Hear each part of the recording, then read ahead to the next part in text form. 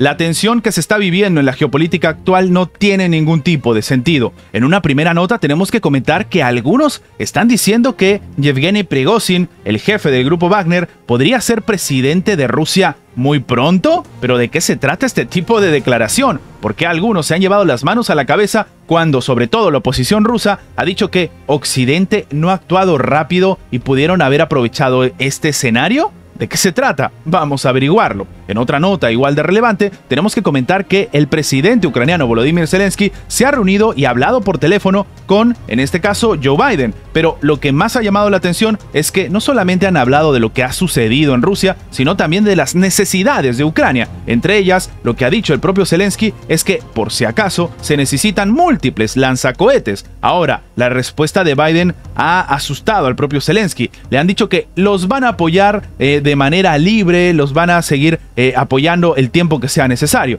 Pero claro, Zelensky no quería escuchar eso. Zelensky quería saber cuántos lanzacohetes les van a mandar. En otra nota igual de relevante, tenemos que comentar algo que llama bastante la atención. El ejército japonés estaría trabajando en usar los satélites Starlink de Elon Musk, en este caso en materia militar. Pero sí, obviamente estamos hablando de una situación bastante llamativa. Recordemos que son nada más y nada menos que 72 satélites Starlink en toda la órbita. Que esto esté a disposición del gobierno japonés es algo bastante preocupante, sobre todo para el bloque ruso-chino. Estas y otras noticias vamos a ver a continuación.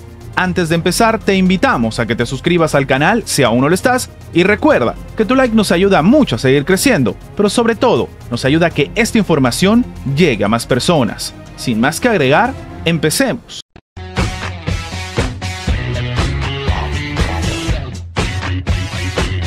¿Pregozin puede ser presidente de Rusia muy pronto? Esto es lo que está diciendo el opositor ruso Mikhail Khorodovsky. Él mismo ha advertido que Occidente no ha actuado de inmediato y que en este caso el levantamiento habría sido un duro golpe para la legitimidad del presidente ruso Vladimir Putin. Aunque lo cierto es que el propio Vladimir Putin, un tiempo después, y lo hemos comentado en anteriores videos, hizo un discurso bastante importante donde hablaba no solamente de lo que había sucedido, sino que, como hemos visto y lo hemos comentado también previamente, se da una suerte de institucionalización del grupo Wagner porque los participantes del grupo Wagner podrían tranquilamente ir, en este caso, al Ministerio de Defensa y tener una suerte de contrato, es decir, para que trabajen de manera ya establecida con la administración de Vladimir Putin, obviamente en el frente en Ucrania. No solamente eso, recordemos que Pregozin ha terminado yéndose a Bielorrusia, esto después de las negociaciones que se tuvo con el presidente del propio país, Alexander Lukashenko. Entonces, ¿por qué la oposición rusa hace este tipo de declaraciones? Y más relevante aún, ¿por qué le empiezan a reclamar a Occidente que no actuaron?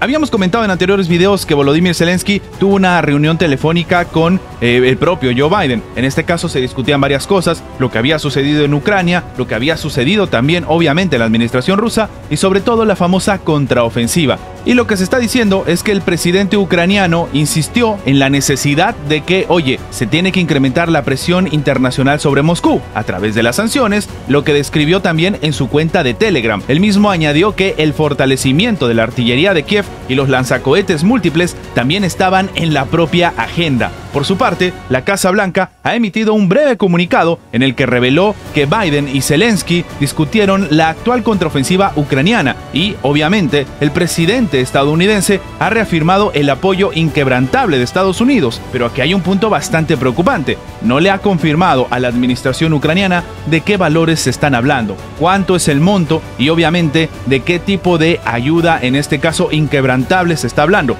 Hungría acaba de salir al frente a decir que ellos esperan que la prohibición de importar granos ucranianos se prorrogue hasta septiembre. Y sí, en este caso, Hungría considera que la prohibición tranquilamente va a terminar siendo prorrogada, porque no hay una situación aparente. La Unión Europea habría prorrogado hasta el 15 de septiembre esta situación, pero ahora se está yendo un poco más allá. Y sí, en este caso, se dice que los países limítrofes con la administración de Volodymyr Zelensky podrían terminar trabajando esto ya hasta finales de año. En este escenario, recordemos que estos países también han solicitado que los otros países, sobre todo del bloque bloque comunitario en la Unión Europea empiecen a enviar ayuda económica a Ucrania para que pueda más o menos sobrellevar la situación, porque esto todavía no se puede creer. Mientras en otros países hay una crisis alimentaria, los países aliados que son limítrofes con Ucrania están con el grano que está generando un colapso dentro de la propia agricultura de cada uno de estos países.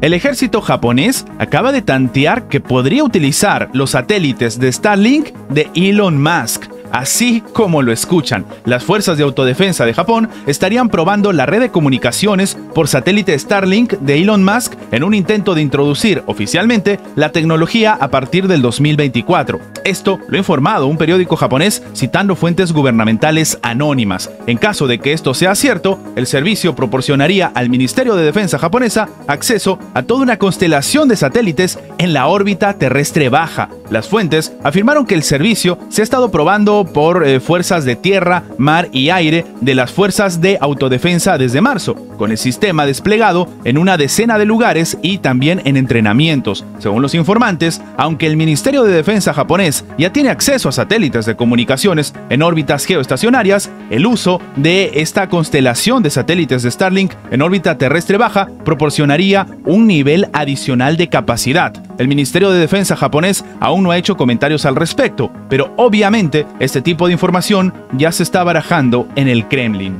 ¿La Organización de las Naciones Unidas se está beneficiando de las misiones de paz?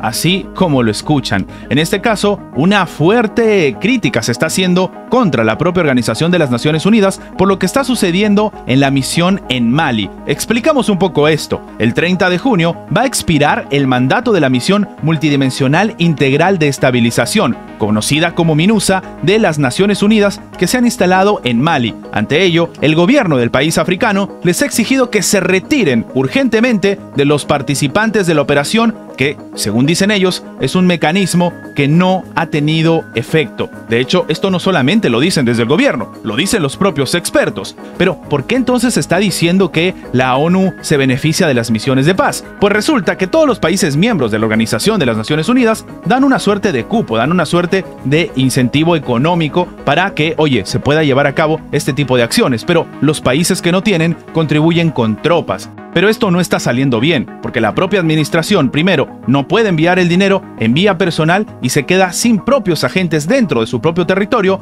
para poder establecer más o menos una situación de calma. Estas son las noticias más relevantes de la geopolítica actual del día de hoy. Gracias a los que han llegado hasta esta parte del video, recuerda que tu like nos ayuda a que esta información llegue a más personas y sin más que agregar, nos vemos en la próxima.